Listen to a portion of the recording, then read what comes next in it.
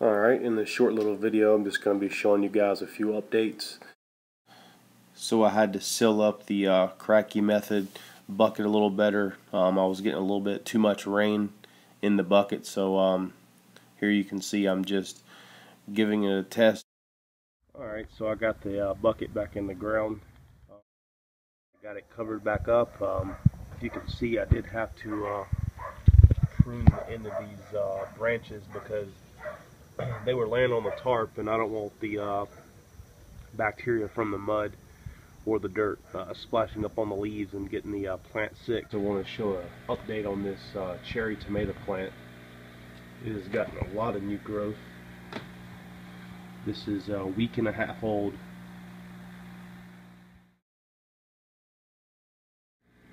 Get a peek at this uh, root system.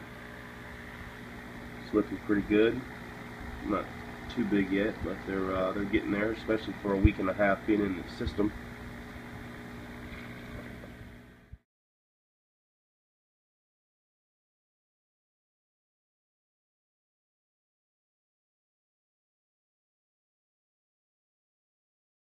Another update on this uh, cherry tomato plant. I just put it in a three gallon bucket and um, I'm actually trying something new. I put this larger air pump in here um, which has two hoses so I actually have um, two air stones in this three gallon bucket which I'll probably move this plant to a five gallon bucket once it, the root system gets a little bigger. But for now I like to uh, just keep them like that when they're small.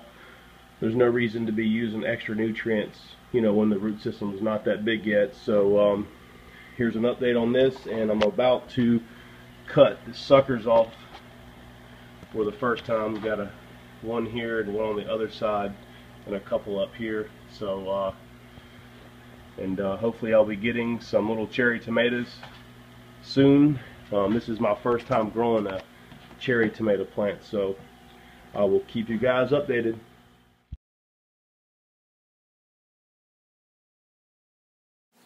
So last night I went ahead and uh, harvested the basil for the second time and um, it normally takes about about two to three weeks um, for every harvest.